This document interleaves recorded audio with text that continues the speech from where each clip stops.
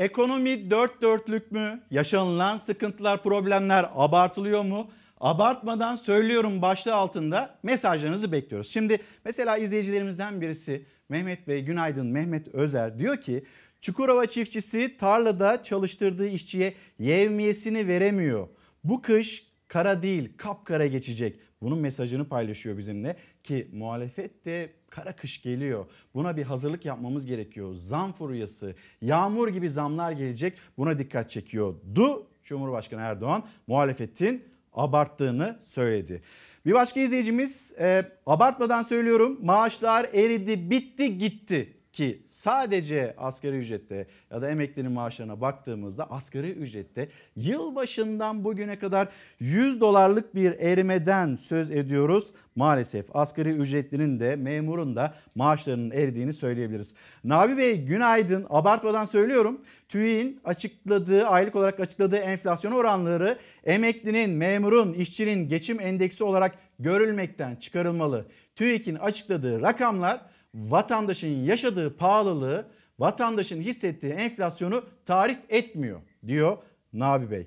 E, Derya Hanım günaydın diyor ki abartmadan söylüyorum. Dün akşam bir marketin alışveriş sitesinde sabah sipariş etmek için sepete ürün ekledim. Sabah siteyi açtığımda akşam 81 lira 90 kuruş olarak eklediğim ayçiçek yağının 84 lira 50 kuruş olarak e, yeniden hani güncelleme diyelim zam demeyelim çünkü öyle denilmiyor. Zam dediğimizde belki de abartmış olacağız ama güncelleme dediğimizde belki daha doğru tarif etmiş olacağız iktidara ya da ekonomiyi yönetenlerin tariflerine göre. 6 lira 90 kuruş olan soğuk bir içecek 7 lira 95 kuruş oldu. Akşamdan sabah ve dolarla maaş almıyoruz ama dolar artınca her şeye zam geliyor. Bizi yönetenler acaba bunu bilmiyorlar mı? Yine Derya Hanım'ın gönderdiği mesaj. O zaman tam da Derya Hanım'ın söylediğine çıkan bir haber var. O da Bir Gün Gazetesi. Bu zamma etiket bile yetişmiyor. Kriz birilerinin daha da zenginleştirirken artan hayat pahalılığı halkın belini bükmüş durumda. Zamların arkası kesilmiyor. Temel ürünlerin fiyatı anlık değişiyor. Dolar kuru fren tutmuyor. Marketlerde fiyatlar sürekli tırmanıyor. Halkın sofrasına zam olarak yansıyan kur artışı dövize olanları zengin etti. Bankalarda bulunan yabancı para mevduatları sadece yaklaşık 2 ayda 303 milyar lira arttı. Dövizdeki artışa dair yapılan eleştirileri yanıtlayan Hazine ve Maliye Bakanı Elvansa ihracatı desteklemek amacıyla yüksek döviz kuru hedeflendiğine yönelik yorumlar doğru değil dedi. Peki dolar niye yükseliyor?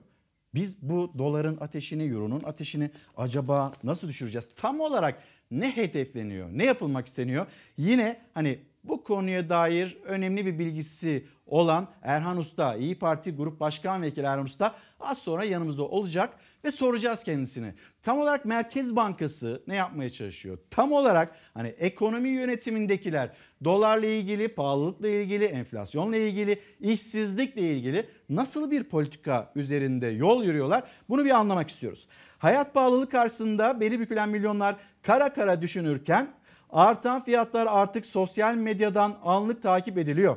Market çalışanları e, gün aşırı değiştirilen fiyat etiketlerini paylaşıyor. Sürekli zam gelen ürünler arasında temel tüketim maddeleri dikkat çekiyor.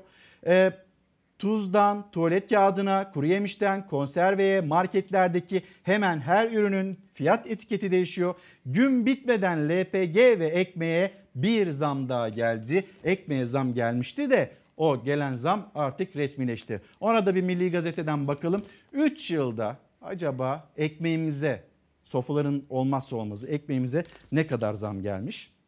3 yılda ekmeğin fiyatı %120 arttı. Hani rakamlara baktığınızda rakamların söylediği aslında hani abartılacak bir şey değil. Net olan yaşadığımız. İstanbul Ticaret Odası meclis toplantısından çıkan karara göre İstanbul'da ekmek fiyatına %25 zam yapıldı.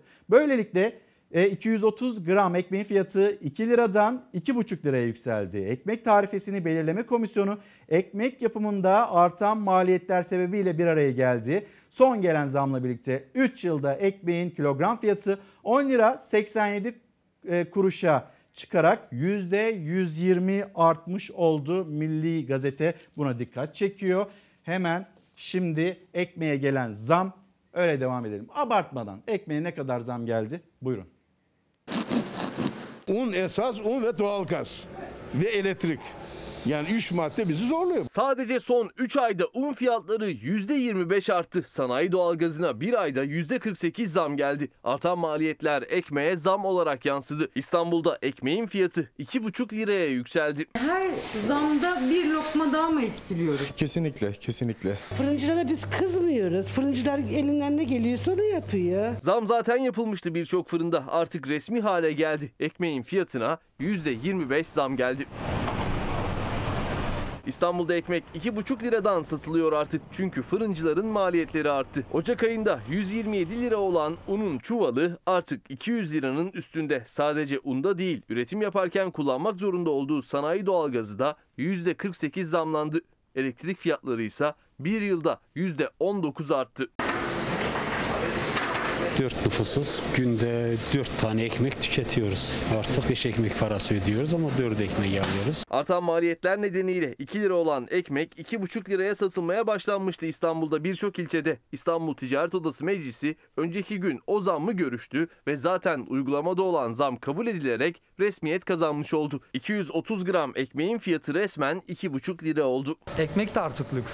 Her şeyin lüks olduğu gibi maliyeti art- artıyor. Bizim çalışan asgari ücretin sabit kalıyor ama diğer her şeyin maliyeti artıyor. Doğalgaz, elektrik, su hepsi arttı. Kilogram başına hesap yapıldığında ise 3 yıl önceye göre ekmek %120 daha pahalı artık. Yani sofraların olmazsa olmazı için vatandaşın cebinden daha fazla para çıkıyor. 3 yılda maaşlarsa %120 artmadı. İstanbul'da özellikle dar gelirlinin ekmeğini aldığı yer halk ekmek. Orada şu an için bir zam uygulaması yok. Son 3 ayda buğday fiyatları %25 arttı. Elektrik, doğalgaz gibi girdi maliyetlerimiz olağanüstü arttı. Bu artışlara rağmen bu çetin kış koşullarında İstanbullu yurttaşlarımıza halk ekmek 1 lira 25 kuruştan satılmaya devam edecek.